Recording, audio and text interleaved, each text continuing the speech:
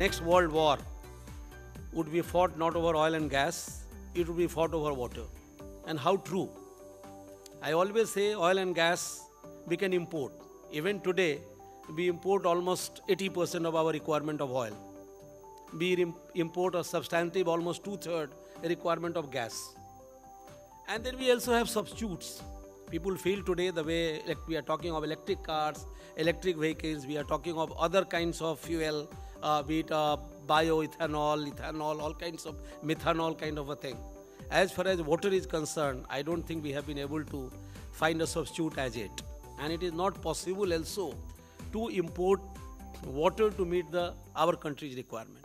So it is basically our job to ensure that not only for this generation but for the generations to come we have a water, a good quality water. Distinguished dignitaries on dice and a stalwart of water and energy who are sitting here. Ministry of Water Resources, Ministry of Drinking Water and Sanitation, Ministry of Skill Development and Entrepreneurship, Niti Aayog, and Honorable Prime Minister of India, Shri Narendra Modi ji, who has sent his message only yesterday evening by a special messenger, sponsors specially KIS Group of Singapore, where Mr. Raghunath is to come, but Mr. Sunil KM has come. I have to thank him. Mr.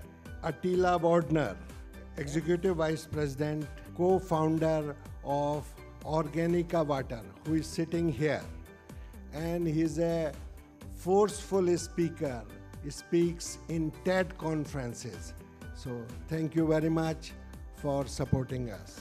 Water is a, is a, is a big issue today uh, with population, world population rising at the rate that it is, and in particular urban population increasing. In India alone, maybe 1 million next uh, 30 years. That puts tremendous amount of strain on resources, and in particular in the cities. Yeah, I was very happy to take part in it for OPIC. Water infrastructure projects have been important to us.